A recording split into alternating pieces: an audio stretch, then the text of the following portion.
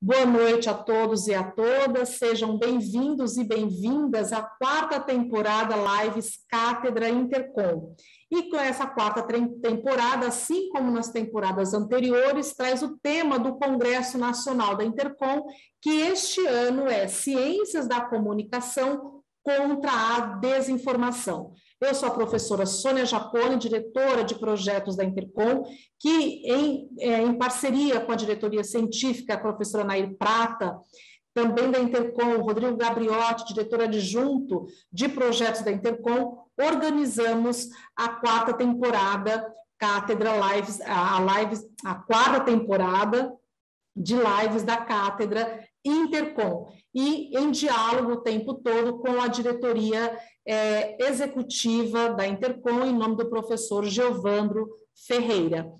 Este, essa quarta temporada ela começou no dia 19 do 4, vai até o dia 28 de junho, então um total de 21 lives organizadas pelos grupos de pesquisa da Intercom. Nós lançamos o convite para os grupos de pesquisa, eles se inscrevem e eles debatem com os seus grupos, com os interessados no tema, debatem aqui o tema junto com os participantes da, das lives Cátedra Intercom. Nesta, no dia de hoje, nós temos a participação do grupo de pesquisa comunicação, mídias e liberdade de expressão, que nós agradecemos hoje já pela participação e organização de vocês do grupo de pesquisa nesta temporada, onde traz o tema Desinformação, Direitos Humanos e Liberdade de Expressão. Nesta live, nós temos a participação da professora Carla de Araújo Risso, da Universidade Federal da Bahia, e Ivan Paganotti, da Universidade Metodista de São Paulo. Essa live será mediada pela professora Nara Lia Cabral Escabim, da Universidade AMB Morumbi. Queremos agradecer a quem nos acompanha pelo Facebook, que está ao vivo, onde as pessoas podem mandar as suas perguntas, interagir com os participantes através de perguntas, fazendo suas, os seus questionamentos. Muito obrigada pela, pela participação. Também queremos agradecer quem se inscreveu pela plataforma do Zoom para participar agora aqui na sala com a gente. Nós temos um público significativo. Muito obrigada pela participação de todos vocês. Lembrando que essa temporada, assim como as outras, elas ficam gravadas, né? elas ficam, são transformadas no YouTube, ficam lá na página da Intercom, onde vocês podem acessar tanto as temporadas anteriores como esta também. Lembrando também que nós temos depois, né, que a, a temporada se encerra vira mais um produto é, da Universidade Federal do Ceará, que é o Papcom, onde é um podcast transformado das lives, onde vocês também poderão é, acompanhar a, toda a temporada através desse podcast, desse trabalho da Universidade Federal do Ceará. Então, mais uma vez, muito obrigada. Vocês vão ter um tempo aí até às sete e meia para debaterem e para também refletirem com as pessoas que vão mandar perguntas, que vão fazer alguns questionamentos para vocês, tá bom? Então, Nara, a palavra agora é com você. Muito obrigada pela participação de todos. Professora Sônia, boa noite. Você me ouve bem? Sim. Escuto bem.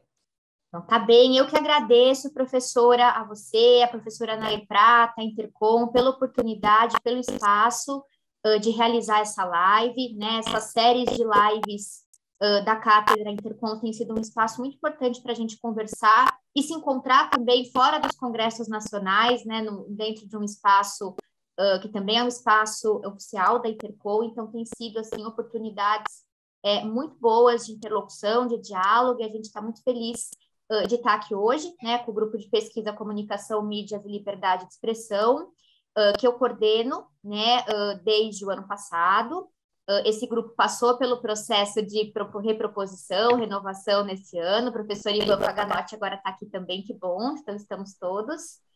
Uh, e ele teve a sua renovação, a sua continuidade né, aprovada agora para o próximo ciclo da Interpol, então também esse evento marca né, esse novo momento do grupo, esse momento de continuidade das nossas atividades, uh, uh, com novos signatários, com novos pesquisadores, com novos apoiadores, e também com um olhar para uh, mais ampliado para temas que envolvem a questão da liberdade de expressão e um olhar não só para temas que talvez não aparecessem tanto em edições anteriores do Congresso, mas é, das edições do Congresso Nacional, mas que a gente quer trazer para discussão, mas também uma ênfase maior em temas que já vinham aparecendo, como este da desinformação. Né? Então, se a gente fizer aqui um levantamento rápido, uh, olhando as últimas edições aqui do GP Comunicação, Mídias e Liberdade de Expressão, eu vou colar aqui os números, porque de cabeça eu não memorizei, é, o, nosso, o nosso GP existe desde 2012, né?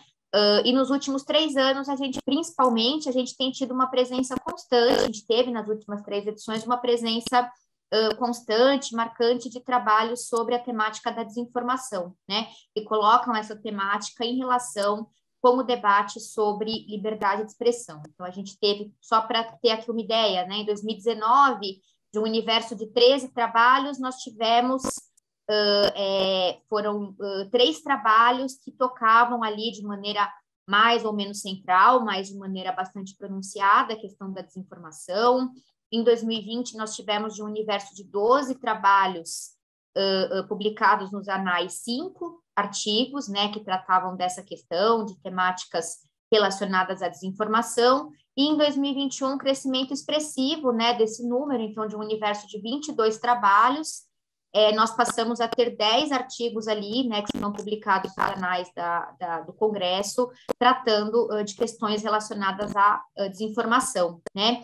Uh, e dentre os pesquisadores que têm trazido de maneira bastante importante esse debate para o nosso GP, né, estão a professora Carla Risso e o professor Ivan Paganotti, que estão aqui hoje é, com a gente nessa live. Então, eu queria, né, com essa minha breve fala inicial, sem mais delongas, apenas frisar, né, esse momento de renovação do GP, que é um momento importante, a alegria de estar aqui hoje, agradecer a Intercom pelo espaço, né? Uh, frisar a importância desse debate sobre desinformação é, é, no âmbito do nosso GP, né? Também queria agradecer a presença de todos que se inscreveram para acompanhar essa live uh, dar as boas-vindas também aqui em nome do GP a todas, todos, todes, e também convidar todo mundo, né, uh, uh, para que acompanhe as atividades do nosso GP nas redes sociais, mande trabalho, né, para o nosso encontro no congresso desse ano, para que a gente possa se encontrar em João Pessoa, o que não vai ser nada mal, por sinal, né, e para que a gente possa continuar as nossas conversas, que a gente também dá início oficialmente nesse ano de 2022 nessa live. Vou passar a palavra, então, para a professora Carla Risso, né, que vai fazer a exposição dela, depois passo a palavra para o professor Ivan Paganotti, pensando na ordem alfabética dos nomes, que é um critério, mas também numa certa continuidade dos temas que os dois vão trazer, dos recortes dentro da questão uh, uh, do nosso tema, né, da desinformação, liberdade de expressão e direitos humanos. Uh, acho que tem uma continuidade também aí, né, nas falas dos dois, que fica boa nessa sequência de falas tá? E cada um dos dois pesquisadores aqui vai trazer um recorte possível dentro dessas relações que a gente tem estabelecido no GP entre a desinformação e a liberdade de expressão, né, passando ali pelo debate sobre direitos humanos. Então, essa vai ser um pouquinho a nossa sequência. A professora Sônia, acho que você levantou a sua mãozinha. Isso. É, rapidinho, professora, só dar boa noite para o professor Ivan Paganotti, que entrou, eu havia é, citado o seu nome antes, professor, então boa noite, muito obrigada aí pela sua participação, que bom vê-lo aqui, e dizer para a Nara, né, que tá, vai fazer essa mediação, que o Andrew ficará com vocês, aparece um pouquinho, Andrew, se você puder aparecer, ele que vai ficar na mediação se precisar de algum suporte, tudo bem? porque eu vou me ausentar um pouquinho, mas o Andrew está aí da Intercom, se vocês precisarem de alguma coisa, tá bom? Muito obrigada, Andrew, é, diretor adjunto da diretoria científica da Intercom. Obrigada e boa noite.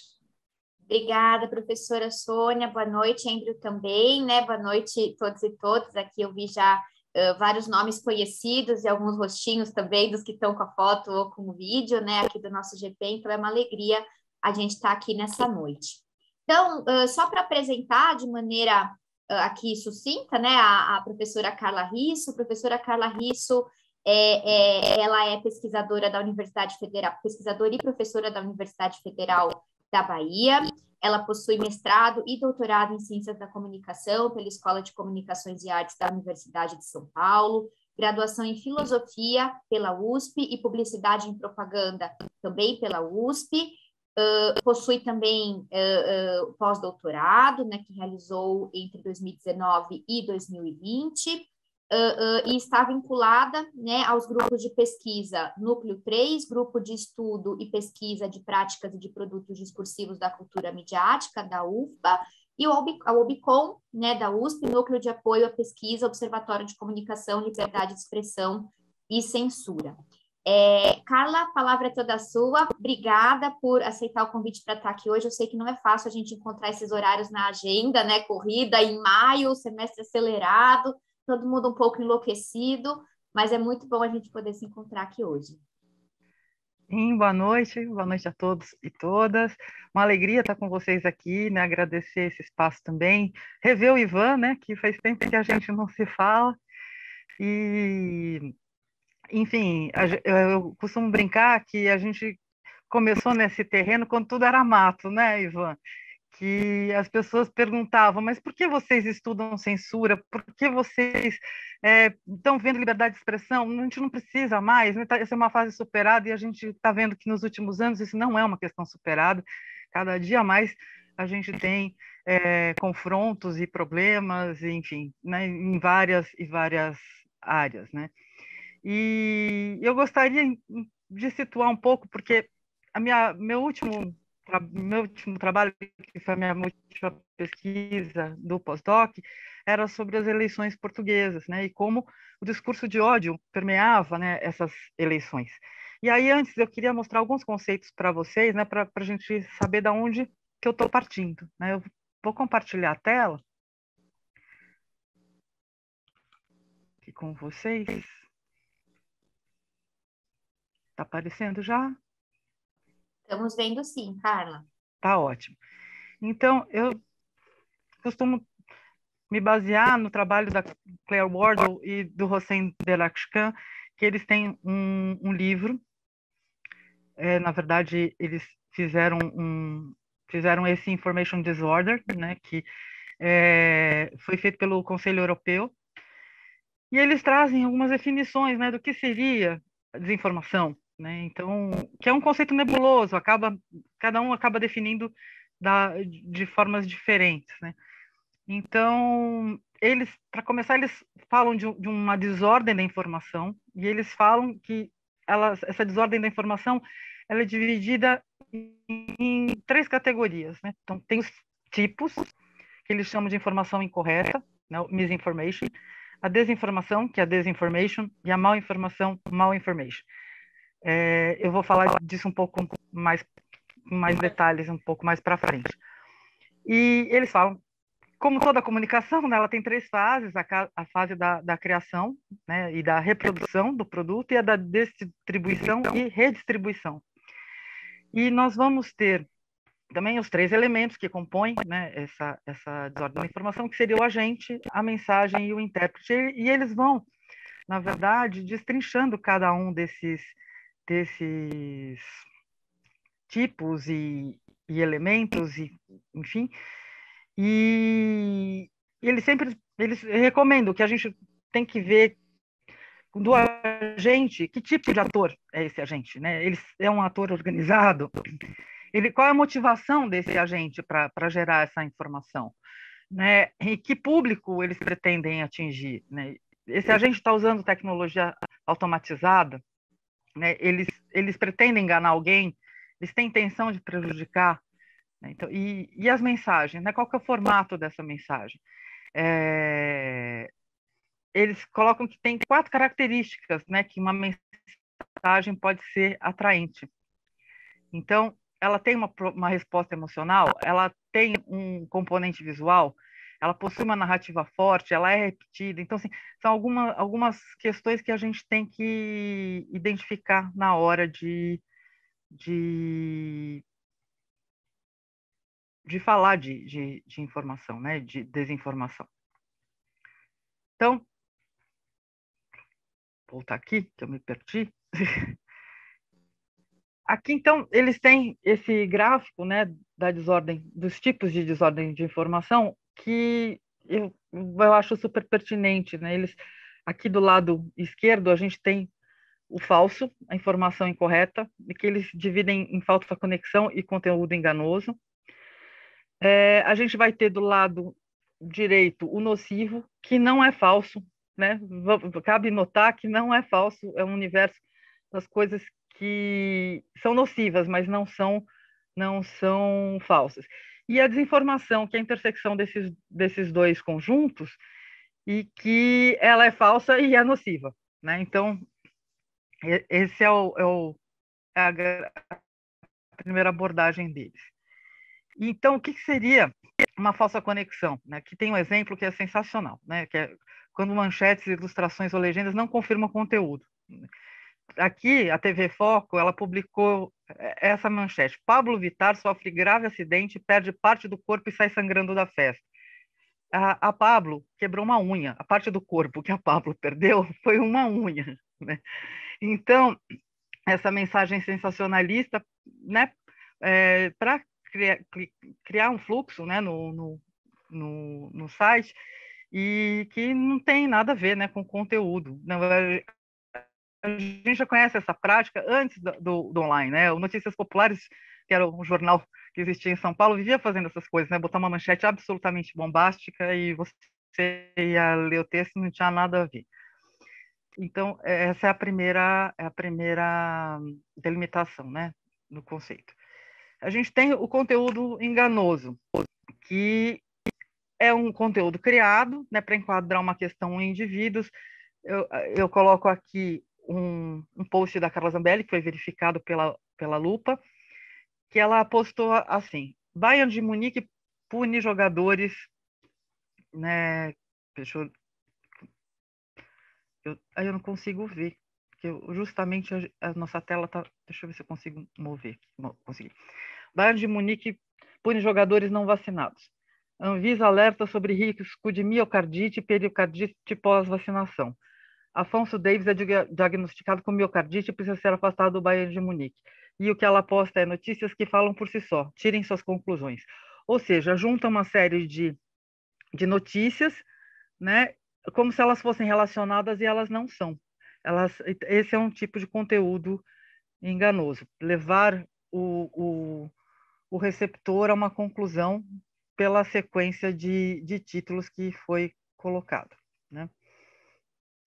A gente tem na desinformação, né, que é, que é aquela intersecção dos dois conjuntos entre o nocivo e, e o falso, o falso contexto, que é pegar uma, uma, um fato que era genuíno, mas você compartilha em outro momento, então você tira ele do, do contexto. Aqui, por exemplo, a gente teve recentemente é, vídeos que eram das manifestações de 7 de setembro do ano passado e que estavam circulando como se fosse desse primeiro de maio para dizer que foi um sucesso, enfim, a, a manifestação, mas não foi.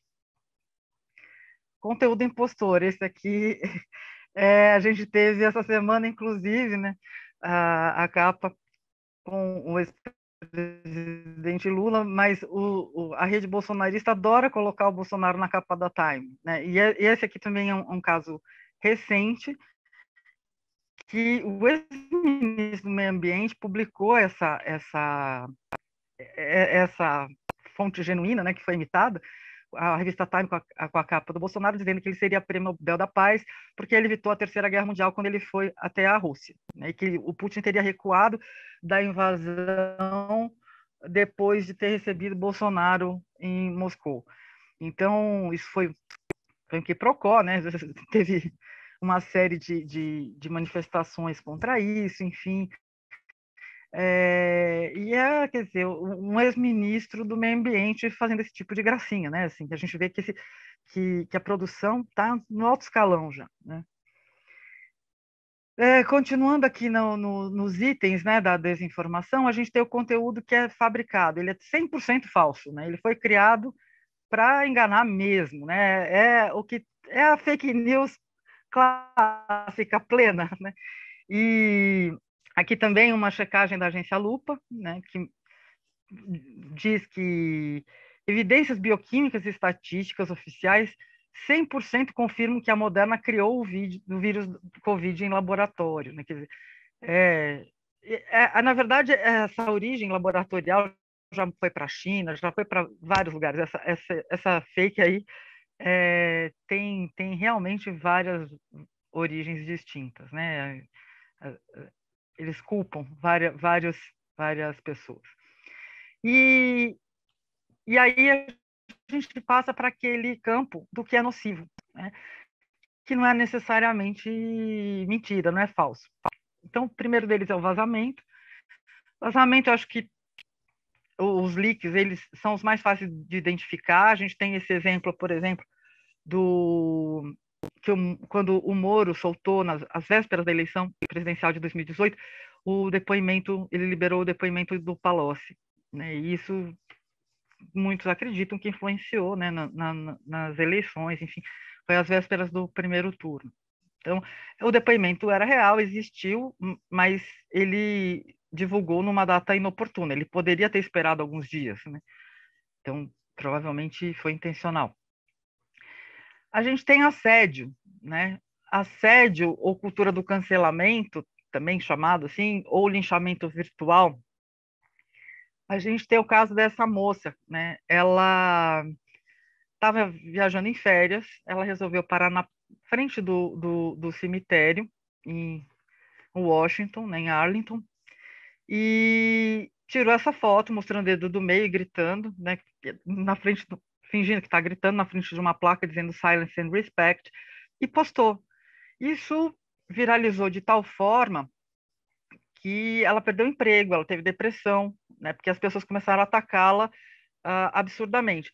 O assédio, né, o que seria o, o, cancelamento, é quando parte da sociedade começa a atacar uma pessoa ou um grupo é, com a, atitudes que essa sociedade acredita que são contra as normas éticas, morais, princípios. A gente vê linchamento virtual. A gente tem um caso agora recente, né, do, do Johnny Depp, e, e, da Amber. Então, você tem o pessoal que está linchando a Amber, tem o pessoal que lincha o Johnny Depp, e você fica nessa, nessa cultura de, de apagamento. Isso também não é novidade, a gente tem, desde a Grécia Antiga, a gente tem o ostracismo, né, condenar as pessoas a, a, a sair fora da sociedade, agora a gente tem essa, essa, essa perspectiva no campo virtual. Né? E, por fim, né, o discurso de ódio, que é o, o tema que eu estou me debruçando mais profundamente nos últimos tempos, é, ele é definido como qualquer comunicação que vai menosprezar né, uma pessoa, um grupo, por motivos de raça, de cor, de etnia, de gênero, orientação sexual, nacionalidade, religião ou qualquer outra característica. Então, aqui alguns exemplos né, de discurso de ódio. Então, você coloca uma determinada etnia, escória do casamento por interesse, por exemplo.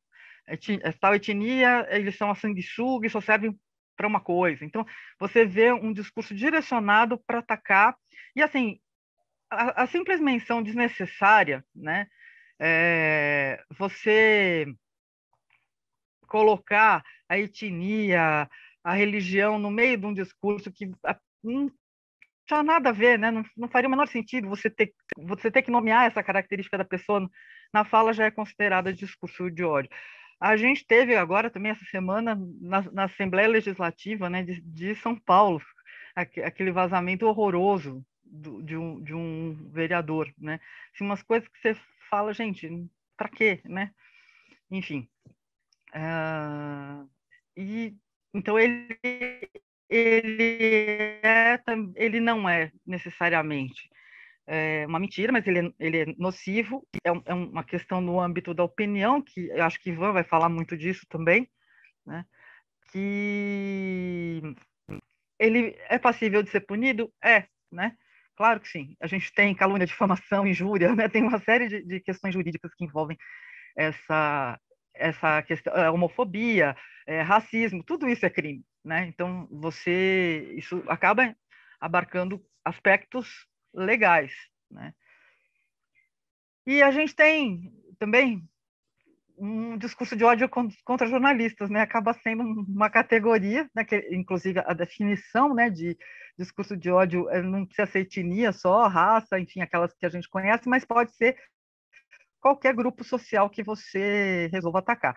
E a gente tem essa, essa crescente onda no mundo, né, e no Brasil também, de discurso de ódio contra jornalistas. A gente tem aqui o Noblar tinha publicado é, a Polícia Federal será obrigada a esclarecer porque a faca usada contra Bolsonaro é, a levar-se em conta a fotografia distribuída não contém ou aparentemente não contém uma única mancha de sangue. E aí a resposta, pede para a polícia enfiar a faca em você no mesmo lugar que enfiaram nele e você confirma o quanto você sangra. Esse tipo de, de, de discurso mal educado, né?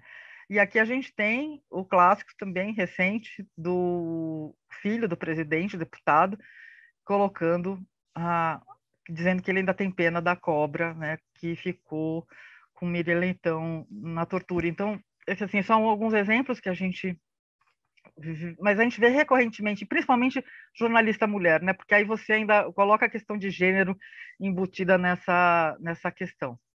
Jornalista homem, eles eles batem, mas nem tanto. Enfim. E a Elizabeth Peirano, ela tem essa frase que eu gosto muito, que ela diz: a indústria não sabe como controlar as emoções, mas se especializou em detectar, ampliar e produzir as mensagens que geram mais benefícios, como indignação, medo, fúria, distração, solidão, competitividade e inveja. É a banalidade do mal. Banalidade do mal, eu acho um, uma frase muito precisa, né? Os melhores cérebros da nossa geração estão buscando maneiras de que faças mais likes, e não é verdade que estamos livres de culpa. Tudo começou porque queríamos salvar o mundo sem sair do sofá. Né? Então, aí a gente tem essa polarização, essa, essa briga louca né? na, na web, e é, é bem por aí mesmo. A gente queria salvar o mundo sem sair do sofá. E a minha pesquisa do pós-doc era baseado no André Ventura, que eu já estava monitorando ele há algum tempo. Né? Ele é chamado de Bolsonaro de Portugal, né? Bolsonarista português, e, e todo, todo o desenvolvimento da carreira dele né, como deputado. Então, ele é jovem, né, ele é de 83, ele era do PSD, no Partido Social Democrata Português, ele é formado pela Universidade Nova de Lisboa em Direito, ele fez doutorado na Irlanda, ele era professor universitário, ele deu aula na Universidade Autônoma de Lisboa e ele também foi professor convidado da Universidade Nova de Lisboa.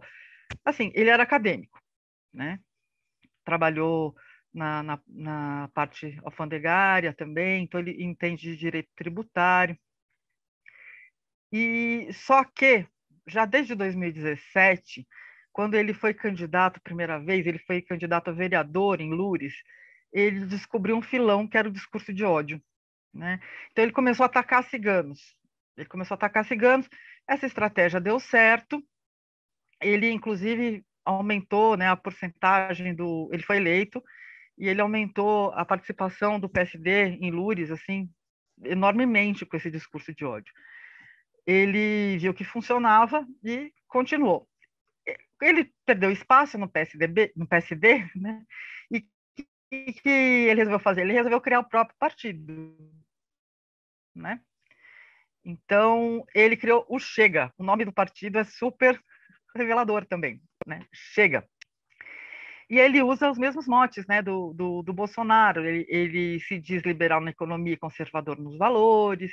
Ah, ele também foi ele também foi coroinha, ele também foi, foi seminarista, inclusive, um, um período e ele está com foco na direita uh, conservadora portuguesa e no mundo rural, né? E ele está fazendo esse, esse, essa, essa estratégia de, de, de ir para cima desse pessoal.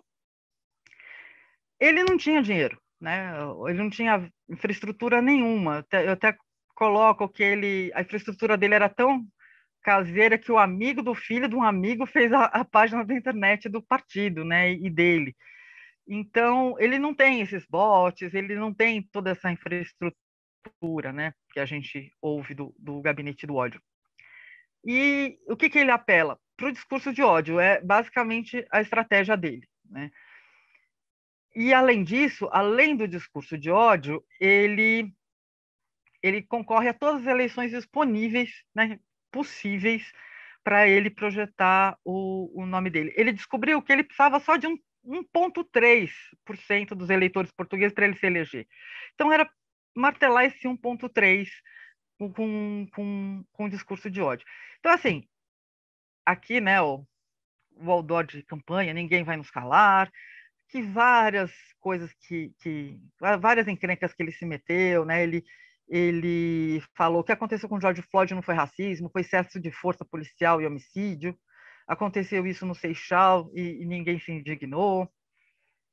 Aí um, o Bruno Kandek foi assassinado também. Aí ele fala que isso não é tragédia, é uma tragédia, mas é, como seria a tragédia de assassinato de um branco ou de um chinês e que e, e acabar com essa ladainha de que é racismo, né? E enfim, ele então ele ele vai participando desses desses movimentos, ataca uma deputada né, negra e fala para ela voltar para a terra dela. Ele ataca também o Ricardo Quaresma, que é jogador da seleção portuguesa, que ele é cigano, ele tem origem cigana, então ele, ele vai para cima, porque o Quaresma vai ter mídia, né? Então ele, ele consegue reverberar o discurso dele. Então aqui são vários várias das encrencas que ele se meteu, né? No movimento All Lives Matter, a história do Bruno Kandek foi assassinado, o movimento Zero, que é um movimento de policiais revoltados com, com, com, com salário, é, e eles saem em manifestação e eles usam a, a, o ok da supremacia branca e ele sai em passeata com, com eles. Ele já tomou várias multas por discriminação, as falas controvertidas dele da pandemia de Covid, mas essa daqui foi a, a cereja do bolo. Ele foi condenado, isso foi em 2021, nas eleições para presidente. No debate, ele coloca essa foto que vocês estão vendo à esquerda, né? isso aqui é um print do, do debate, e ele fala que o Marcelo Rebelo de Souza, que era o presidente de Portugal e que foi reeleito, né, com quase 70%, mas ele atacando o Marcelo, ele fala que Marcelo está ao lado de bandidos no bairro da Jamaica e eu serei o presidente que vai estar do lado da polícia. Então, ele simplesmente chamou a família inteira, até o bebezinho de três anos, né, de bandido, que está na foto, junto com o Marcelo Rebelo de Souza, é, e por conta deles serem negros, né, evidente isso. Então, eles entraram com, com uma ação na justiça, ele perdeu, e ele perdeu de novo, agora em dezembro, no Supremo Tribunal Português, né, é, que não tem mais apelação, ele vai ter que pagar uma multa de 20 mil euros. E é, é porque, além do mais, ele não falou uma vez só, ele falou quatro. Então, é 5 mil euros para cada vez que ele se referiu a esse caso. Ele é reincidente, né? Então, esse foi o caso que ele foi condenado. A gente tem, é, em 2021, que queriam ilegalizar o partido, chega, justamente por conta desse discurso de ódio, né? Então, você tem uma certa polêmica em Portugal, ah, gente falando que legalizar seria um erro, é, mas muita gente falando que não é possível você deixar um partido desses, né, funcionando, até porque o partido era ele, né? Só tinha ele eleito deputado é, na Assembleia. Enfim, a, a Assembleia foi dissolvida no final do ano, e teve eleições antecipadas. Era para ter eleição em 23, mas teve agora em janeiro. Então, é... outra eleição de novo. O que eu estava falando da outra estratégia dele, ele foi, ele participa de tudo que é eleição possível. Então, ele, quando antes do Chega se estruturar, ele fez uma coligação básica para o Parlamento Europeu. Então, ele tinha espaço para tinha palanque para falar. Aí ele conseguiu 67 mil, quase 68 mil votos nas legislativas né, de 2019. Saiu candidato à presidência da, da República, perdeu e voltou a ser candidato a, a deputado novamente agora. E aqui a gente vai ver que ele, de sétimo, né, e que ele teve 66 mil votos, Agora, três anos depois, ele teve 410 mil votos. Era a intenção dele, né? Um jornal espanhol já tinha, já tinha apontado que ele queria ter pelo menos cinco deputados na Assembleia. Ele conseguiu 12. Com, esse, com essa votação expressiva que ele, que ele teve. Então a gente vê que o, o discurso de ódio dele está funcionando, né? Ele está conseguindo se eleger, está conseguindo fazer o partido crescer, o que é, é bastante assustador, né? Então aí que eu vou já né? é, é uma pergunta, né? Até que ponto, né? Uma sociedade livre, aberta e tolerante, democrática, a gente pode é, permitir e dar espaço para essas ideias impopulares e controversas, né? Por que, que a gente permite esse discurso agressivo, né, incitador do ódio, que ele fica impune? A regulamentada tem crimes, mas a gente vê, a gente vê Daniel Silveira, né? Ele foi condenado e tem uma graça presidencial e fica por isso mesmo. ele fica andando por aí, né, sem tornozeleira e não pega nada. O, o André Ventura vai pagar 20 mil euros, tá? E daí? E ele vai continuar falando os absurdos, né, que ele fala. Então, a gente sabe que, para a maioria dos juristas, a liberdade de expressão não é um direito absoluto. Né? Ela, ela tem que, que ser é, preservada, mas até ela não violar o direito de outra pessoa. Né? E tem que ter punição e limitação. Então, aí eu vou deixar com, com o, o Ivan, né? que o Ivan que trata mais dessa questão do aspecto jurídico, tá certo? Obrigada.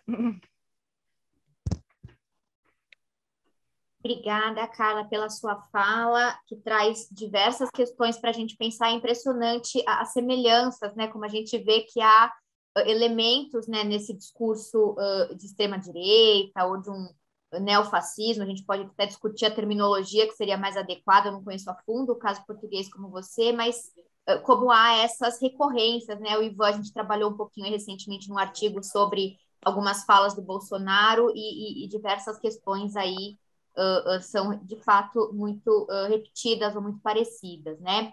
Mas vou passar então a palavra para o Ivan. No final a gente vai ter um espaço, tá, gente? Queria dizer também para quem está assistindo para fazer perguntas, comentários, para um debate. Então, né, por favor, sintam-se aí mais do que convidados a, a, a, interagir, participar. Quem estiver vendo pelo Zoom, é, pelo YouTube também, né? A gente pode uh, uh, pegar as perguntas por lá, né? Enviadas ali pelo, pelo Facebook, na verdade, perdão, e trazer aqui para a gente conversar. Eu estou com o Facebook aberto.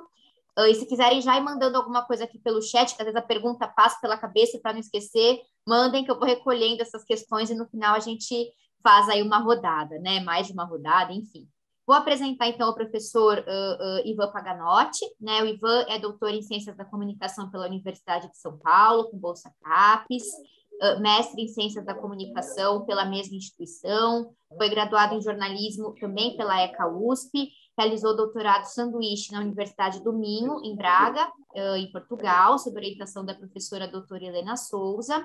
Ele é docente e pesquisador com o projeto da FAPESP no programa de pós-graduação em comunicação social da Universidade Metodista de São Paulo.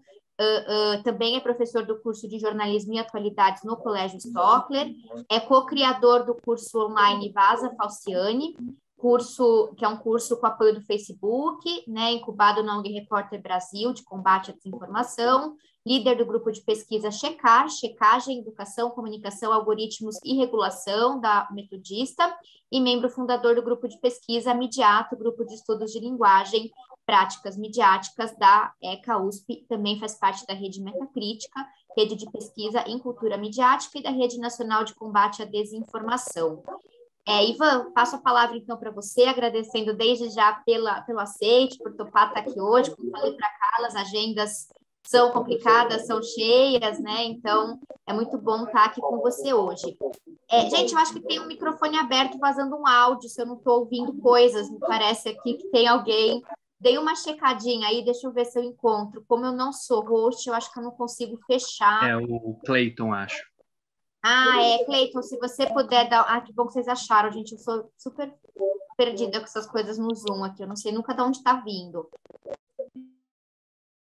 Acho que fechou, né? Não, isso, o Zoom, quando a gente entra no Zoom, ele entra com o microfone aberto, né? Então, a gente cai, volta e volta com o microfone aberto. E eu vivo deixando vazar porque eu não percebo que está aberto. A gente tem que ficar esperto com isso. Mas, então é isso, Ivo, é com você agora. Obrigadão. Obrigado, Nara. A Nara já fez uma apresentação inicial, né? Eu queria agradecer muito né, o convite de poder participar mais uma vez aqui das lives é, do Intercom, mais uma vez com a Nara, né, no, grupo de pesquisa sobre liberdade de expressão, é, que, eu, que eu participo também né, nos eventos do Intercom Nacional. É, queria agradecer mais uma vez a oportunidade também de poder dialogar, conversar, rever, mesmo que virtualmente, a Carla, gostei muito de ouvir né, a sua fala, Carla. Você já, pincelou, já passou por, explicou né, e deixou bem claro alguns dos elementos que são é, essenciais para a gente poder ter esse debate. Então, poupou para o segundo convidado, né, poupou para a minha, minha parte agora é, um, um, pedaço desse trabalho mais difícil, que era dar essas conceituações, as explicações que você fez muito bem. Então, eu queria agradecer por ter trazido esses conceitos e exemplos muito interessantes, como o exemplo do André Ventura. É, como também sou leitor português, continuo acompanhando, infelizmente, esses, esses momentos meio tenebrosos aí da, da nossa política e agradecer poder ouvir um pouquinho você também sobre esses tópicos. É, a Nara é, já me apresentou, mas ela esqueceu de mencionar o elemento mais importante da, da, das minhas funções atuais, que eu sou responsável por três gatos aqui em casa, e esse é o momento em que eles acordam para comer. Eu tentei acordá-los antes da live para ver se alimentava eles, mas está muito frio e eles não quiseram. Então eu já peço desculpas que se daqui a uns 15 minutos, 20 minutos eles começarem a, a miar, tem muito ruído aqui de fundo, é porque deu o horário, né? Ó, o Augusto também já colocou, pois é. Esses dias que começa a ficar frio, né, chuvoso, eles mudam um pouco a dinâmica. Pode ser que eles só acordem às sete e meia ao final da live. Então, já peço desculpas aqui se tiver um pouco de ruído por estes momentos. Pois é, função importante. Não tem bolsa para isso, mas a gente faz né, com muito amor, com muito carinho nesses momentos.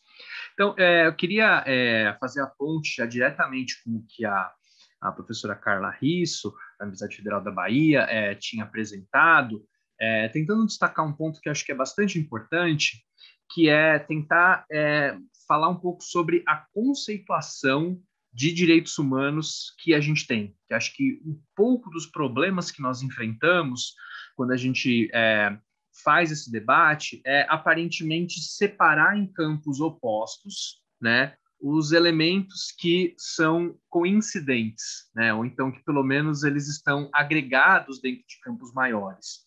Então, quando a gente fala de desinformação, direitos humanos e liberdade de expressão, a gente não pode imaginar que são três elementos separados, né?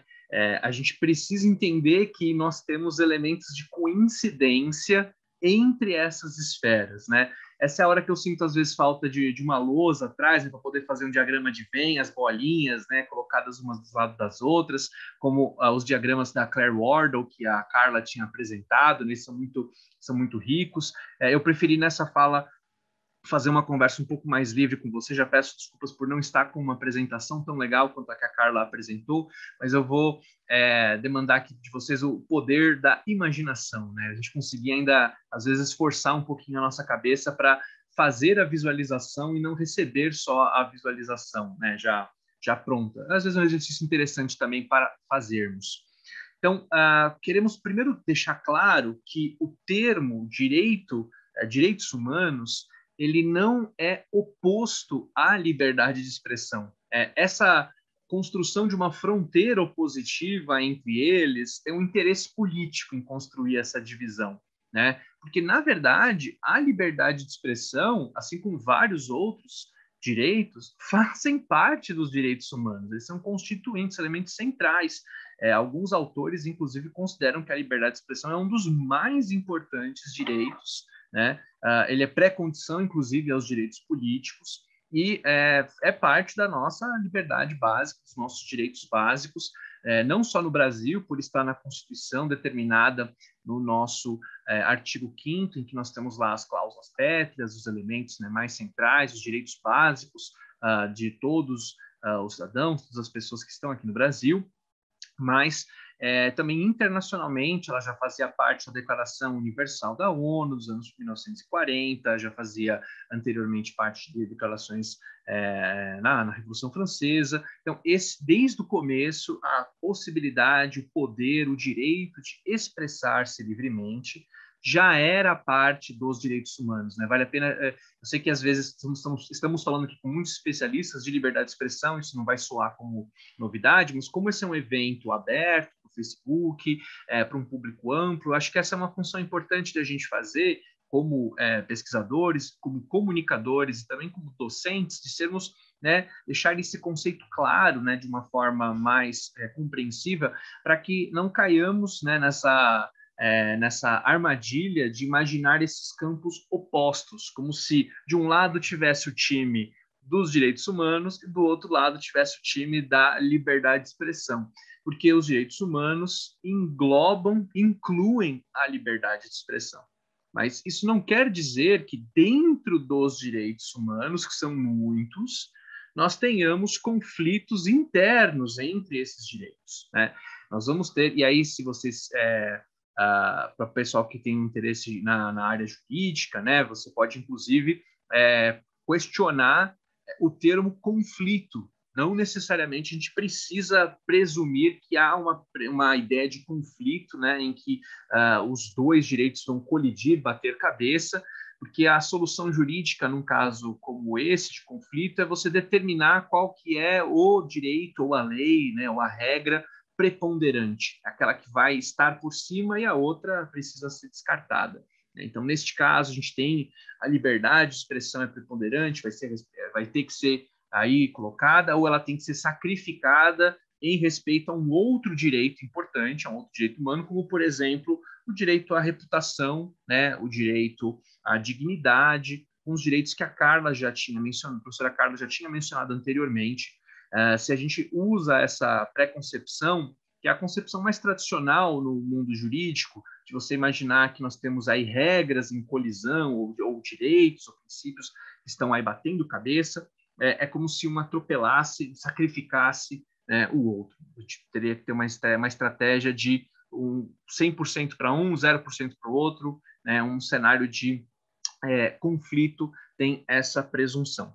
Uh, não é a única forma de resolver esses problemas. Nós temos uma outra estratégia, uma outra perspectiva, inclusive aqui no Brasil é defendida pelo Uh, na época ele não era ainda ministro do STF, né, quando ainda estava na advocacia, o Luiz Roberto Barroso, agora né, é ministro do STF, mas mesmo antes de ter sido indicado para o STF, ele já defendia é, os princípios da ponderação dos direitos, usando a ponderação dos princípios por trás deles, em que nós não tenhamos um sacrifício completo de um dos dois. Nós podemos equilibrar, a gente pode talvez procurar uma situação em que não é todo é, para um lado e nada para o outro, em que você pode tentar manter um equilíbrio entre essas partes. Então, você não precisa completamente abandonar né, a possibilidade de expressão, você só vai tentar fazer com que essa expressão seja possível, mas respeitando a dignidade, respeitando é, a imagem das pessoas, ou a sua privacidade, né, ou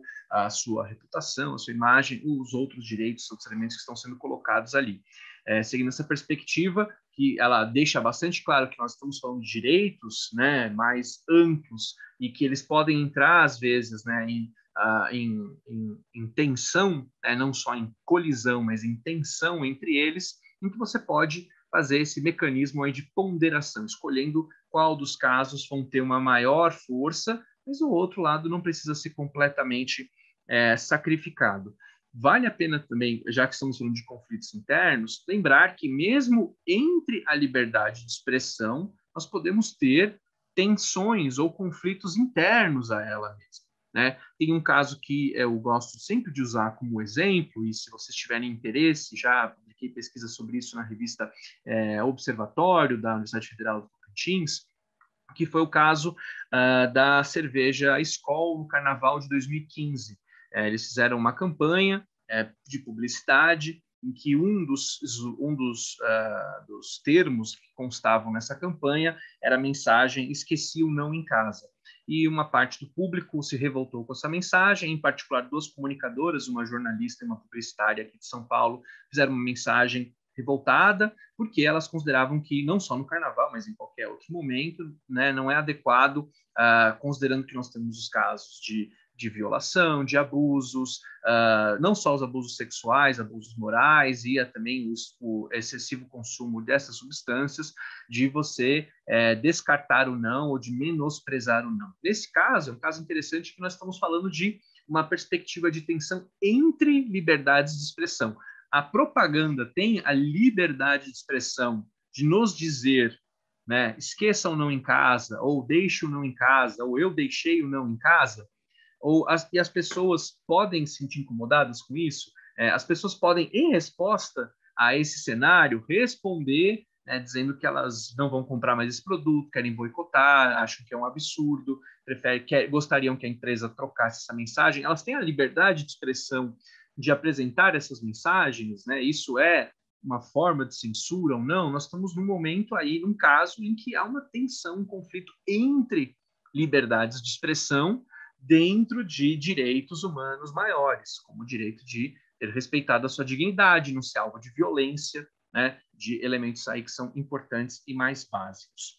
Então, é, primeira questão que eu queria colocar era deixar bastante claro que nós não estamos trabalhando com campos opositivos, né? Nós estamos falando da liberdade de expressão e direitos humanos do outro lado.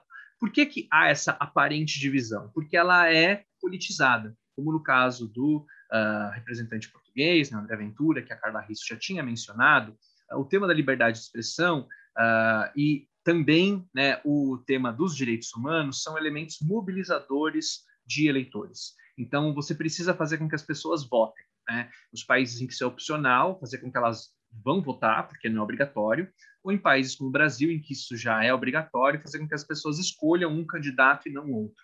Então, os mecanismos que é, são utilizados é você tentar apontar para a pessoa que uma questão é importante e que o seu representante ou defende ou ataca essa questão que você está colocando aí como um elemento mobilizador, fazendo com que outras questões que se o público fosse pensar mais racionalmente fossem mais evidentes, mais prementes, elas acabem sumindo e acabem sendo deixadas no segundo plano. Né? Então, em um momento como agora, em que a gente está preocupado com inflação, com desemprego, com a pandemia, a questão da saúde ainda é um problema, a educação enfrenta muitos problemas nesses últimos anos, né, é, agravados por causa da pandemia. Esses temas que teriam demandariam soluções muito complexas, difíceis, né? Então a gente deixa de lado e a gente vai escolher um outro tema para discutir agora. Então, é, vamos falar de liberdade de expressão, porque esse é um tema que a gente pode tentar mobilizar os nossos grupos para melhores respostas, para melhores estratégias, ou a favor da liberdade de expressão ou contra os direitos humanos. E aí você automaticamente parece que cria entre esses dois campos alinhamentos ideológicos.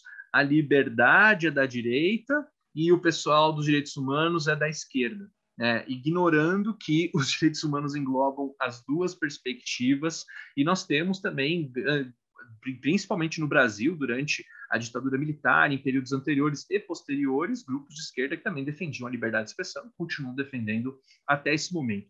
Essa construção arbitrária, né, de contrapondo esses dois elementos, ela é construída para nos confundir. E aí a gente entra no, no primeiro tema, né, que é a primeira palavra importante da nossa live, que é a desinformação. Né? Uh, nós estamos trabalhando com a confusão de conceitos uh, que são instrumentalizados politicamente para criar essas não só essa mobilização política, mas para criar conceitos que são inadequados, incompletos ou incorretos, né, e colocar esses conceitos como predominantes, como se eles fossem os direitos, desculpa, como se eles fossem os discursos circulantes ou mais efetivos no conceito do Patrick Charradot, que é um autor que é bastante lido aqui na comunicação, acredito que alguns de vocês já é, conheçam, se não, recomendo sempre a leitura do livro O Discurso das Mídias dele. Esse, esse efeito, né, essa capacidade de você construir é, termos que viram bicho-papão, né, uma coisa que todo mundo teme, todo mundo quer correr, fugir, é, são, é um fenômeno bastante clássico do populismo. Uh, tem uma obra bastante importante, né, que é sobre a razão populista do Ernesto Laclau, e em outras obras anteriores que o Ernesto Laclau escreveu também com a sua é, companheira de longa data, né, a, a Chantal Mouffe, uh, em que eles discutem o conceito de significantes flutuantes. Né? O que é essa ideia, meu Deus, termo técnico? Né? É, é uma palavra meio vazia, é um termo que não tem uma, um conceito muito preciso, mas ele é conhecido, as pessoas se importam com ele, é uma palavra mágica que é, basicamente divide, polariza as nossas atenções. Então, sempre que você ouve esse termo, essa imagem, esse conceito, o público presta atenção e rapidamente você tem um posicionamento ideológico. Então, você tem vários termos, né? É, nacionalismo, patriotismo, fé, é, direitos humanos, liberdade de expressão, aborto, esses são temas que é, eles se tornam temas quentes para o debate público e em que rapidamente você constrói uma polarização. Então, se você, como a Carla, muito bem te identificado, quer fazer essa conta é, maquiavélica de quantos votos você precisa, você vai conseguir, falando desses temas a favor ou contra, é, a, abarcar uma parte do eleitorado, uma parte do público que se importa por isso e quer defender com uma bandeira, ou odeia isso, quer destruir, né, quer jogar pedra nessas vidraças. Então, esse é um elemento uh, importante. é, e queria destacar aqui a, a próprio conceito de desinformação e de notícias falsas, que é um termo que está normalmente atrelado a ele, é, acaba também sendo um desses significantes flutuantes. É um termo que não tem uma definição muito boa, muito clara. As pesquisas acadêmicas, né, tem uma pesquisa muito interessante é, desenvolvida pela equipe do professor Edson Tandock, Edson Tandock Jr., é, da, de Singapura, uh, em que ele fez um levantamento sobre dezenas de significados diferentes, né, em que ele agrupou em seis principais categorias sobre o que é fake news só nas pesquisas acadêmicas. Quando você olha para a mídia, os sentidos são os mais amplos possíveis. Então, às vezes, você pode considerar que desinformação, fake news é um erro da imprensa, uma informação incorreta, é, ou não, né? não se categorizaria dentro deste elemento, esse princípio. Então, não ter muita clareza conceitual é uma estratégia política, porque aí você pode utilizar isso, mobilizar isso politicamente, como a Nara já tinha mencionado, né? Então você tem, por exemplo, uh, né, essa pesquisa que eu desenvolvi com ela, né, que a gente vai apresentar agora nesse, nesse ano, na próxima Compós, é, em que você tem, às vezes, uma imprecisão sobre esses termos uh, e há uma confusão, há um uso né, político desses conceitos do, do, humor, da piada ou das desinformações, das informações falsas, como elementos de mobilização da nossa atenção, dos nossos debates públicos. Porque aí você pode ter uma liderança política que, por exemplo, vai descartar é, críticas, é, denúncias, posições divergentes, como se fossem notícias falsas. Tem uma pesquisa bastante interessante desenvolvida por uma dupla de, é, de pesquisadores norte-americanos, chamada Ross e Rivers, é, em que eles analisaram como uh, o Donald Trump utilizou o termo né, fake news, que inicialmente ele era atacado e criticado por ter sido indiretamente beneficiado de muita desinformação que circulava nas redes sociais durante a sua eleição em 2016, um tema que academicamente é um pouco questionável se ele realmente foi ou não beneficiado, foi suficiente ou não para virar essa eleição, né? A, as, algumas pesquisas acadêmicas de recepção mostram que não é o único elemento, nem o mais preponderante esse, mas Ainda assim, esse era um dos seus calcanhares de Aquiles, era muito criticado por é, ter sido beneficiado e por divulgar informações que eram flagrantemente, demonstrativamente falsas, e ele passa a usar esse termo contra os seus é, críticos. Então, ele passa a dizer que quem são as fake news são os veículos tradicionais, são jornalistas, são seus críticos, são quem apresenta denúncias, às vezes até documentadas, contra o seu governo. Então, a desinformação, ela rapidamente pode também ser assim é, reposicionada. Então, caminhando já aqui para a parte final da minha, da minha fala, queria destacar como, em alguns momentos, a gente tem tido agora um reposicionamento dessa questão dos direitos humanos dentro da, dos grupos que supostamente combatiam né, esses é, alinhamentos mais à esquerda e que passam a a trabalhar aí também um pouco de uma forma mais conservadora e contrária à liberdade de expressão. Então, já cria um tilt aqui, uma confusão nossa, aquela tradição, tradicional divisão de ah, os grupos conservadores, à direita, defendendo a liberdade de expressão, e os grupos mais à esquerda, defendendo os direitos humanos. É, o caso da Rússia, atualmente, é um caso bastante interessante para nós analisarmos. Desde a guerra da Ucrânia, né, é proibido você chamar a guerra da Ucrânia de uma guerra. Né? Se você fizer críticas ou publicar informações contrárias aos interesses governamentais, é, você pode ter penas de até 15 anos na Rússia devido a essas publicações. Muitos veículos de comunicação é, deixaram de funcionar na Rússia porque seria impossível fazer uma cobertura precisa sobre esse fenômeno sem utilizar a terminologia e apresentar os fatos que são assim apurados. Uh, e uh, nesse caso é interessante a gente também lembrar que uma das justificativas apresentadas pelo governo russo foi tentar respeitar os supostos direitos humanos de grupos étnicos russos que estavam na Ucrânia sendo perseguidos, vítimas de genocídio ou dos, de grupos de extermínio nazistas ucranianos contra esses russos que viviam no sul e no oeste do país, na região da Crimeia e na região do Donbass.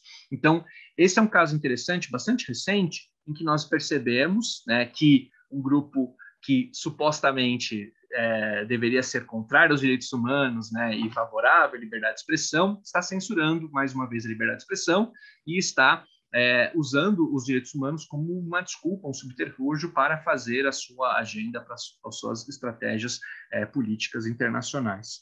É, esse é um caso da, da Rússia, e eu já caminho aqui para os últimos segundos aqui da minha fala, que é, pode ser interessante para a gente, porque essas leis, né, que elas pretendem defender né, a, ou a liberdade de expressão ou os direitos humanos de uma forma mais ampla contra a desinformação, elas muito facilmente podem ser apropriadas ou manipuladas para causar, para abrir espaço para censura, para silenciar divergências.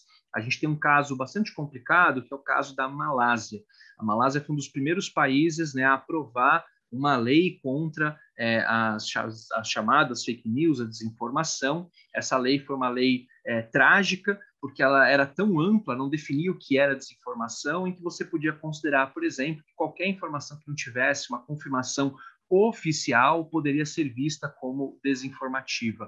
Muitas pessoas é, tiveram que pagar multas, algumas acabaram indo inclusive para a cadeia por causa dessa lei. Foi uma tragédia, silenciou denúncias de abuso, silenciou críticos no governo uh, e a lei acabou sendo é, derrubada, revertida após uma eleição em que o grupo que havia proposto a lei não conseguiu a sua manutenção no poder.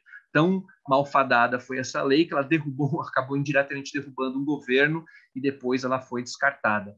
É, relembrando que os, os, mortos, né, às vezes não descansam e eles voltam para nos assombrar. É, durante a pandemia, de novo, a Malásia voltou a criar leis bastante draconianas, contrárias à divulgação de informações falsas, para silenciar de novo críticas uh, contra a forma como o governo estava combatendo a pandemia, né, críticas à sua ineficiência, etc., como se fossem é, informações que levariam as pessoas a, a, tomar atitudes incorretas e que poderiam prejudicar as políticas de respeito à pandemia. Então, ah, por que nós no Brasil precisamos ficar preocupados com esses casos, né? Do outro lado do mundo, ah, Malásia, Rússia, esses problemas não são os nossos. Nós estamos discutindo um projeto de lei, né, sobre a desinformação, chamado, né, apelidado o projeto de lei das fake news, que, uh, se não tiver definições bastante precisas sobre o que é considerado desinformação e não tiver um cuidado bastante grande desses outros direitos que precisam também ser respeitados, né? O direito à privacidade, o direito à possibilidade de à informação, acesso à informação, o direito à comunicação, né? A própria liberdade de expressão, se esses outros direitos não forem levados em consideração, com bastante cuidado e com bastante cautela pelos nossos representantes, nós podemos ver essa lei sendo utilizada posteriormente para uh, silenciar críticas, silenciar jornalistas, silenciar é, plataformas digitais, uh, e os que hoje se opõem a essa lei podem, sem muitos escrúpulos, é, fazer uso delas para as suas finalidades políticas. Esse é um caso que a gente precisa é, tomar bastante cuidado e ter uma atenção aí bastante é, problemática. Né? A Carla já tinha mencionado é, o caso do, do Daniel Silveira, né, no, no, Supremo Tribunal Federal. Esse é um caso que é, eu eu, presto, eu prestei bastante atenção, já publiquei no UOL colunas sobre esse tema, né, falando um pouquinho sobre esse caso ainda no, no ano passado, é, e isso entrou no meu radar porque eu pesquiso justamente como a liberdade de expressão uh, e depois como a desinformação ou as notícias falsas, ou como o STF utiliza a terminologia, as notícias fraudulentas, elas são controladas uh, de uma forma judicial, em particular pelo Supremo Tribunal Federal, foi tema de um livro que eu publiquei recentemente. Esse é um tema que é bastante importante a gente é, prestar atenção, porque nós temos essa configuração clássica né, do que seria a defesa da liberdade de expressão num grupo à direita e é, se opondo aos defensores dos direitos humanos, esses grupos à esquerda que precisam ser, portanto, combatidos. Nós temos aí um fenômeno bastante clássico, né, que é a falácia do espantalho. Você coloca e constrói um inimigo imaginário e você atrela a ele tudo que é de negativo e de problemático, como se é, o STF fosse comunista, é, como se você tivesse a Globo comunista, como se todos esses grupos estivessem aí à, à esquerda né, e estivessem todos alinhados e aproximados. É só você né, olhar o, a trajetória política, as decisões, é, e você percebe que a situação não é tão simples de você conseguir caracterizar nesse tipo de, é, de processo. Então, eu queria é, só colocar essas questões, mas eu gosto de ouvir sempre no debate, eu fico aqui aberto para é, perguntas e questões para é, a gente poder falar um pouquinho mais sobre como esses três conceitos eles se aproximam Uh, eu vi que já tem alguns comentários aqui na, no chat, né? Então vou ficar aberto aqui para ouvir um pouquinho vocês e mais uma vez agradecendo o convite da Nara, é, poder dialogar e ouvir a professora Carla e também conversar um pouquinho com vocês. A gente já está aqui né, para defender a liberdade de expressão, para ouvir as suas expressões e para a gente trocar um pouco essas nossas perspectivas. São os nossos direitos humanos, por isso que todos nós acabamos defendendo eles. Obrigado, gente. Obrigada, Ivan, pela sua fala. É, conversou muito bem com a fala da professora Carla.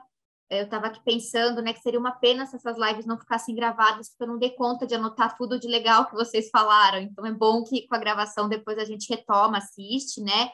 Inclusive, isso uh, uh, também, é, é, essa, essa, essa live gera produtos derivados aí que a Intercom organiza, né? Um livro, um capítulo e um livro, uh, e também o podcast, né? O Papo Com. Então, esse material fica disponível também para quem queira ver e rever depois, né, além do próprio Facebook da Intercom. Uh, chegaram comentários, né, pelo Facebook, justamente. Uh, eu vou começar por eles, gente, mas eu queria então abrir aqui, né, esse momento para o público colocar suas questões, colocar suas reflexões. Eu acho que a gente teve duas falas muito instigantes, né? Ouvindo aqui o Ivan, fiquei pensando, né, Ivan, como essa estratégia direita liberdade de expressão, esquerda, uh, uh, direitos humanos, né? Que é um discurso uh, sobre a liberdade de expressão que não é exatamente novo, né? Ele já vem de um debate, na verdade, que se coloca de maneira muito clara ali no final do século XX, já a partir dos, dos embates com o islamismo, né? Com esse outro contexto não ocidental sobre a partir da liberdade de expressão mas de alguma forma ele é reciclado numa estratégia que parece aquela estratégia direita cloroquina, esquerda tubaína, assim. Então cria uma, uma oposição que ela é mobilizadora, né?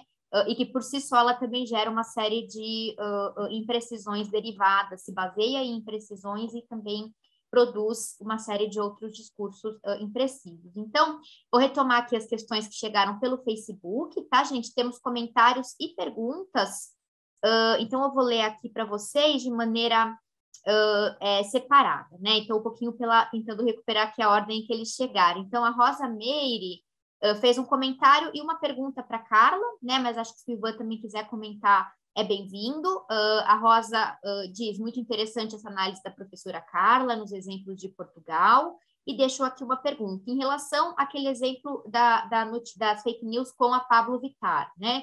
Como o leitor pode identificar se defender de publicações fakes como essa?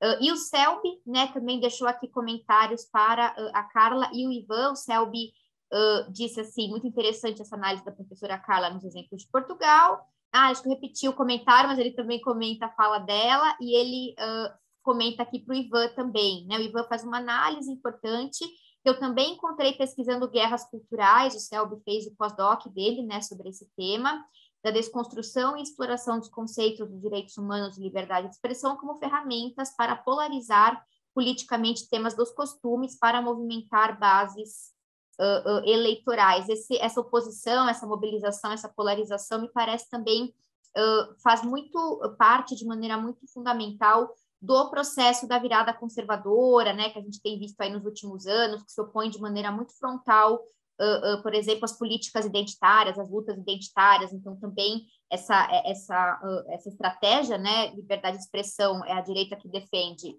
direitos humanos é a esquerda que defende, também entra um pouco na chave dessa desmobilização também das políticas identitárias, né, como se quem defende políticas de identidade fosse um defensor dos direitos humanos, contrário à liberdade de expressão, e do outro lado a gente tem os, os grandes defensores, os arautos ali da liberdade de expressão, que, no entanto, muitas vezes não hesitam em também uh, procurar censurar certas formas de expressão quando elas trazem críticas, né, às suas próprias posições, mas Uh, não falarei muito aqui nesse momento para não roubar a palavra, passo então para Carla e para o Ivan, e, gente, podem mandar mais questões aqui ou pelo Facebook também, tá? Ah, tem mais uma do Selby aqui que eu não li, perdão, gente. Uh, o Selby também coloca, minha dúvida ao Ivan, temos uma pergunta aqui mais específica ao Ivan, minha dúvida ao Ivan é justamente sobre a tentativa de legislar sobre o controle da desinformação. Você sabe se algum país democrático ou sem turbulências políticas de teor nacionalista, com alguma legislação aprovada sobre o tema? Então, uma ótima pergunta também aqui para a gente pensar sobre possibilidades nesse sentido. Passo então agora sim a palavra a vocês dois. Bom, sobre a pergunta da, da Rosa Meire, a questão da, da Pablo, basicamente, né? Isso, essa questão do, do título sensacional, né? que as pessoas mandam só a, o título e a maior parte das pessoas não consegue ou não tem interesse em clicar para ver o resto da notícia. Então, essa é uma forma de, de passar desinformação muito violenta, né? Usar esses títulos, esses títulos sensacionalistas, né? Inclusive, é, tem gente que ensina a fazer.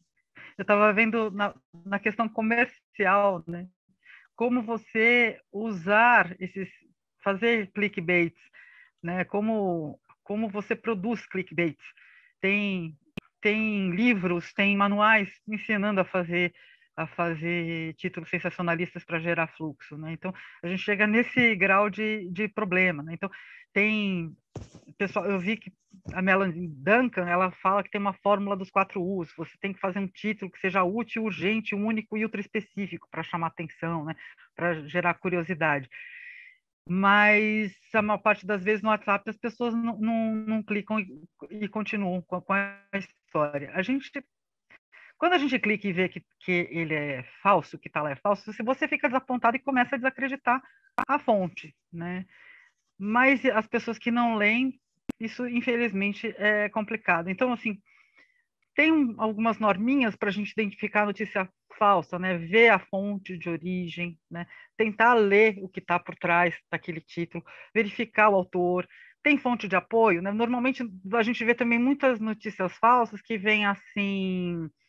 Um, um, eles pegam a, a, o formato jornalístico, né? Então, assim, cientista alemão, né? Que você não, não, cita nome, não fala nada, ou às vezes eles inventam uma universidade que não existe, ou eles inventam um cientista que não existe e dá aquele tom de credibilidade, né? É, tem muita gente reproduzindo conteúdo de, de jornais que não existem, né? De jornal que foi fabricado para espalhar fake news e as pessoas passam como se fosse credibilidade da imprensa, né? É, é super complicado, é super complicado. E a gente está numa questão bem complexa. Mas, assim, verificar a data para ver se não está fora de contexto, né? verificar se não é piada, verificar se não, não tem preconceito embutido, tentar consultar especialista, isso demanda tempo, demanda vontade. Então, que, eh, a, a, o, cidadão comum, às vezes, não tem essa, essa, essa, vontade. Né? Ele tem aquela paixão, que a gente viu a questão do, do intérprete da notícia também, que ele quer acreditar naquilo. Então, ele incorpora, ele acha aquele título bacana e sai espalhando. É, são várias questões que a gente tem que trabalhar, porque é, a desinformação é um fenômeno complexo, ela precisa de, de várias formas para ser contida, né? não é uma coisa simples. Você tem a regulação, você tem as agências de fact-checking, você tem a possibilidade de fazer pré-banking, que, na verdade, o, o pré-banking está muito atrelado à educação midiática, né? tentar antecipar o que seriam essas notícias falsas e, e desmascarando esses conteúdos. Uh, mas na verdade, a gente está sendo muito reativo na maior parte das vezes.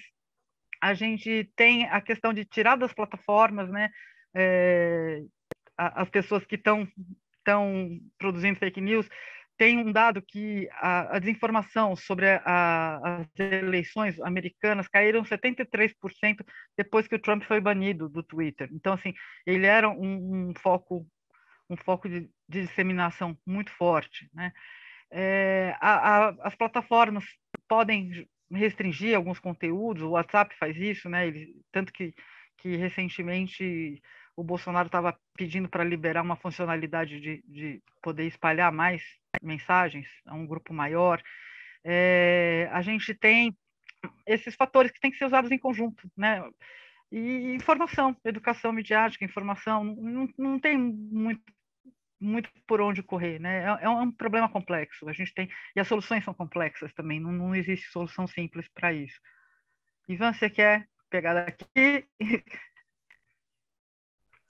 Sim, vou aproveitar já, é, falando para o Selby, né, agradecer as perguntas, né, Selby. É, tem uma pesquisa muito legal é, do professor Jonas Valente, ela foi publicada em 2019 na revista Comunicação é, Pública. O artigo dele chama Regulando Desinformação e Fake News, um panorama internacional das respostas ao problema. É um texto que eu já trabalhei há alguns anos na, na, na, na pós-graduação aqui com os meus alunos da Metodista, e nessa pesquisa, o Jonas Valente faz um panorama internacional de alguns países que apresentaram propostas né, nos anos anteriores, é, o artigo 19, né, então é basicamente 18, 17, 16. Uh, tem algumas propostas posteriores né, que não estão incluídas ainda nessa pesquisa, mas que uh, tem outros pesquisadores que já estão dando uma olhadinha nisso e acompanhando, mas essa, acho que, esse artigo acho que ainda é o padrão ouro, né, um bom levantamento que ele fez, que inclui, sim, países democráticos que é, fizeram e aprovaram leis. Dois casos, acho que mais interessantes, que é o caso da França e o caso da Alemanha. A Alemanha já tinha algumas regulações anteriores, né, tratando de discurso de ódio, que a Carla tinha apresentado, né, até pela sua trajetória, pela trajetória histórica do país. É, então, eles já tinham né, um edifício de regulação as bases já estavam meio que bem definidas, então eles construíram em cima disso as limitações que foram assim apresentadas. Mas nesse estudo, o Jonas Valente ele faz um levantamento e você consegue perceber que é, há uma preponderância de países é, pouco democráticos entre os que desenvolveram essas leis. E tem um outro denominador que é interessante: as leis aprovadas mais rápido e com mais abrangência são dos países com menor tradição democrática. Então, assim, Arábia Saudita, a própria Malásia, né, uh, e países em que a democracia está um pouco mais consolidada, a aprovação das leis foi um pouco mais complexa, e essa complexidade trouxe ganhos, né, porque são os usos que a Carla tinha mencionado do jornalismo, eles também podem ser usos colocados na, na, na, legislação, né? Urgente, útil e ultra específico. Eu perdi qual era o quarto, agora já esqueci, né? Mas é, é, essas leis, elas tratam de temas que são emergentes, mas aqui nesse caso eles precisam de um tempo de decantação, né? A resposta instantânea e simples, ela costuma trazer uma resposta muito. o problema, né, que é emergente, ele costuma trazer uma resposta rápida e muito incorreta, né, muito imprecisa. Então, uh, poder debater publicamente esse tema, ouvir especialistas, ouvir grupos bastante divergentes, ouvir também os. É, as muitas plataformas de comunicação que seriam afetadas, né? Não só as grandes plataformas, os comunicadores de grande, médio, pequeno porte, internacionais, nacionais, os, os locais. Então, você ouvir esses grupos uh, e ouvir, né? Eh, essas perspectivas, você pode evitar os abusos que são construídos. Uh, e às vezes a gente sabe que não é por uma imprecisão, por uma imperícia na construção dessas leis. Elas foram utilizadas como um mecanismo para cercear a liberdade de expressão e para abrir ferramentas e brechas para a censura. Esse já era o objetivo, só foram usadas como uma, uma desculpa, como subterfúgio para utilizar politicamente esse pânico moral com a, com a desinformação. Então, a referência que eu apresento, né, que eu dou aí para o, a pesquisa do professor Jonas Valente, que acho que é a melhor perspectiva de levantamento dentro dessa área. Né? Então, uh, e amarrando aí né, com a, a sua primeira, a primeira fala do, do Selby sobre a questão das guerras culturais, é, é, é, esses temas eles podem acabar sendo é, utilizados né, nesses, nessas disputas, mas esse é um tema em particular que acho que demanda uma atenção um pouco maior, porque a possibilidade de você silenciar o outro lado é, é o, é, o, é, o, o fim da guerra cultural. Né? Você basicamente ganha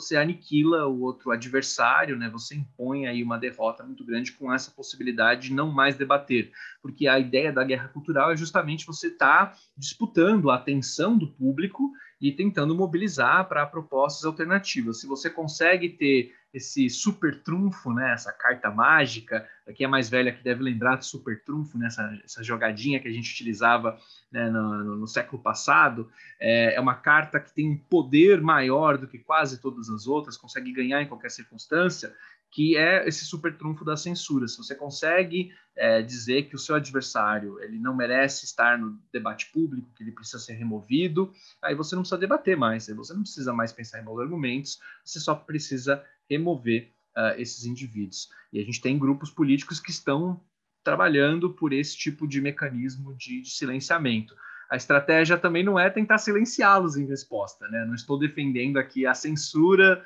dos sensores, né? Não é a, não é a abordagem, não é a proposta que é, eu apresento nem que eu defendo, mas é só para a gente tomar cuidado quando essas propostas são apresentadas e instrumentalizadas, é, em que se utiliza como um ponto de apoio essa preocupação é, bastante generalizada com esses fenômenos para construir estratégias que politicamente podem ser bastante problemáticas. E, e só uma questão, e vou só complementando, a, a Europa, basicamente, ela, ela a legislação é muito focada em proteção de dados né, dos usuários e uma outra forma de, de, de tentar conter é por educação midiática. Né? Você tem uma série de programas em, em todos os países da, da comunidade europeia. Então, é, a, a, Europa procura pela regulação de dados mesmo e, e, das plataformas. Tanto que agora a gente tem esses, esse, você aceita, né, compartilhar tal coisa, tá, que é uma coisa que já tinha na Europa há muito tempo, né, que antes a gente aceitava, os cookies vinham automaticamente e agora a gente é obrigado a, a decidir antes que são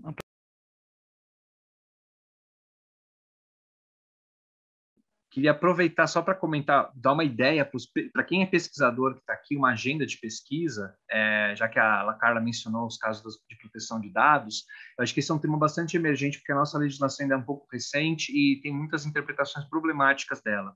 Porque a gente vê no Brasil, por exemplo, a LGPD, né, a nossa Lei Geral de Proteção de Dados, sendo usada para é, limitar acesso a informações públicas, é, negar, é, por lei de acesso à informação, pedidos que são bastante plausíveis, são apresentados anteriormente, e agora ela virou meio que né, uma, um, uma, uma panaceia, né, uma solução para todos os problemas de quem queria silenciar e ocultar, etc. Fala, não, a gente não pode dar essa informação porque é a Lei Geral de Proteção de Dados, dizer não. Então, é, é uma lei, de novo, que foi criada para proteger direitos né, das pessoas e ela está sendo utilizada para cercear informações públicas que são relevantes.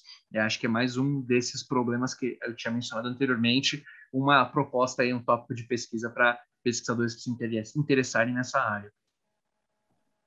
Obrigada, Ivan e Carla, pelas respostas. Tem mais uma pergunta que acho que dá tempo de fazer mais essa, e se mais alguém quiser também acrescentar alguma pergunta mais rápida, né? E depois também, se ficar pendente, a gente pode seguir essa conversa em outros encontros aqui do nosso grupo. Vai ser um prazer. O Selby e a Carla agradeceram aqui as respostas, né? E uh, uh, a Rosa Meire coloca uma pergunta para o Ivan. Ela diz assim: o foco na América Latina em organismos como a Brage, que remetem a líderes que optam por negar ou subestimar a gravidade da crise. Recentemente, o Night Center tratou do assunto ouvindo jornalistas em um evento online. Aí ela pergunta: já se sabe o estrago desses processos uh, em relação à liberdade de expressão? Como você vê esse quadro aqui pensando num contexto né, latino-americano de forma mais ampla?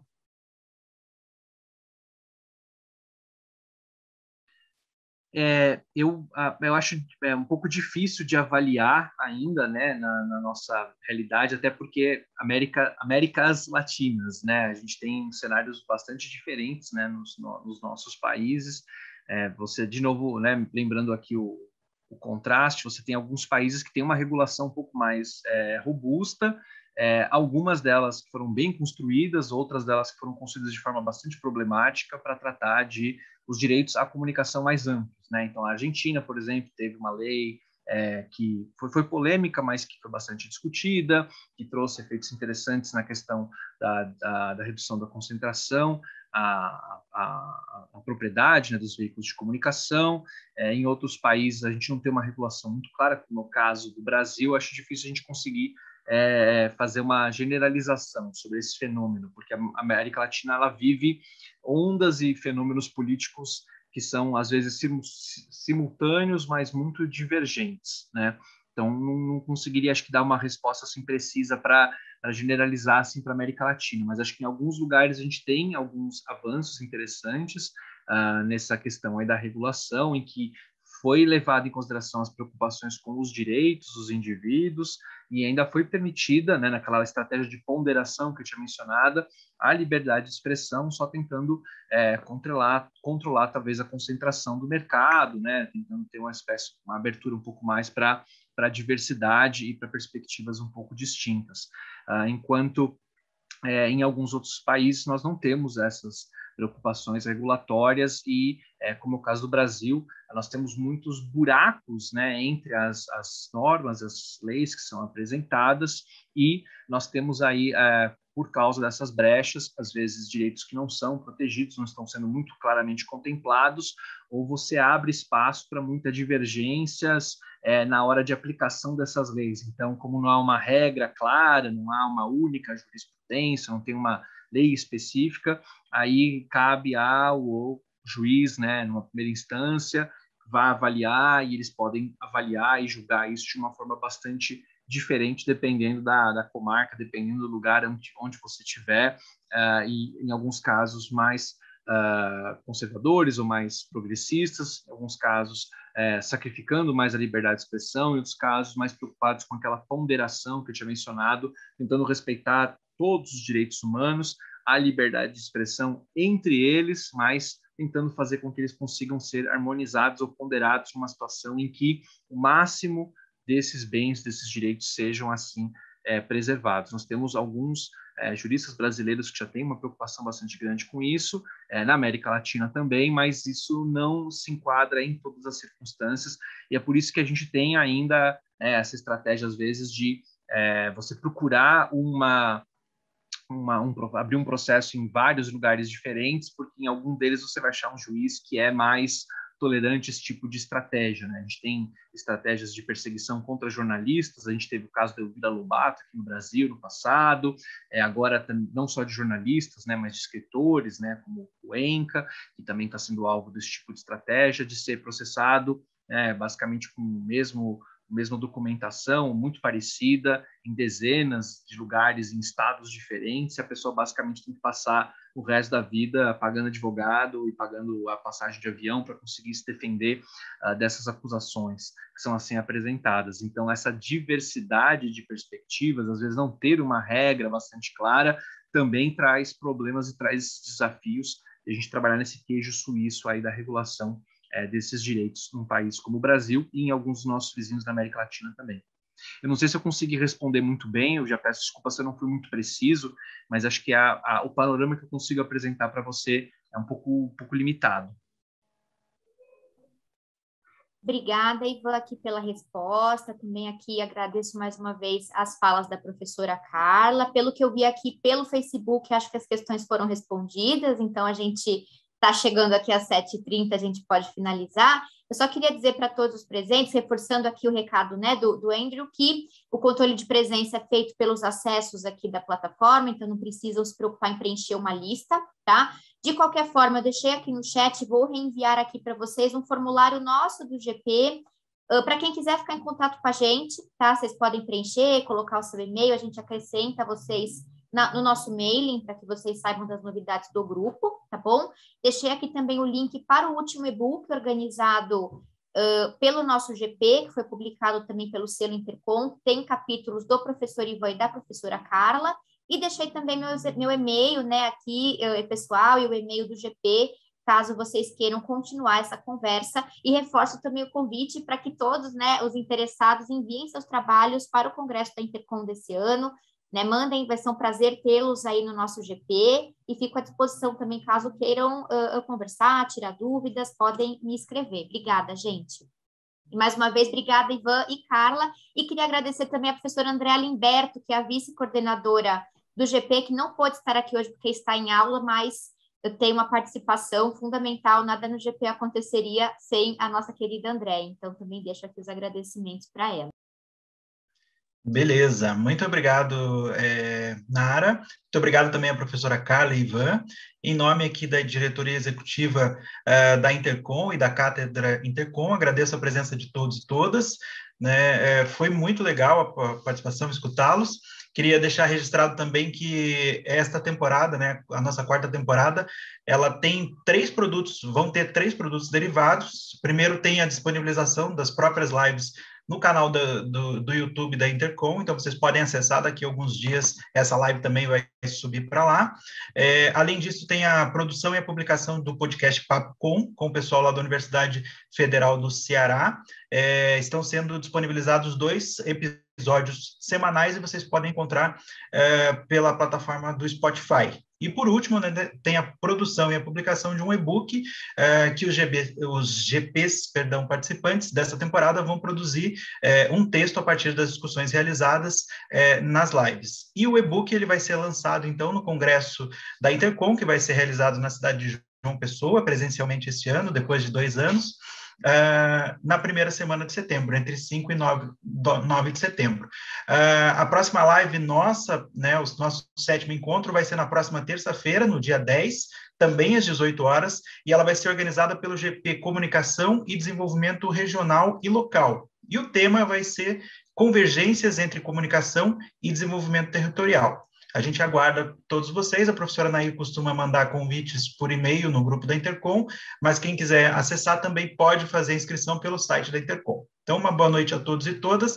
A gente espera vê-los e vê-las na próxima terça também.